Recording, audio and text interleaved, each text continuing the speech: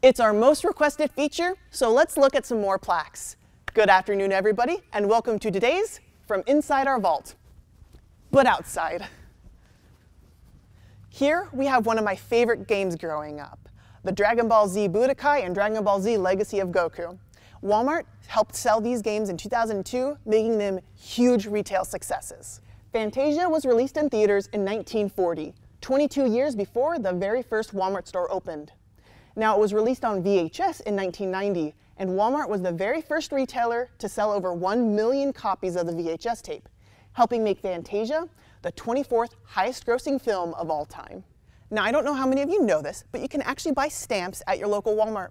Just ask your cashier or your customer service representative, and they can sell you a book of stamps. This plaque is in honor of Walmart's first collaboration with the U.S. Postal Service in 1999 to sell these Daffy Duck stamps. Of course, no party's complete without karaoke. With the help of beautiful displays like this, Walmart helped sell over $5 million worth of Karaoke Bay products.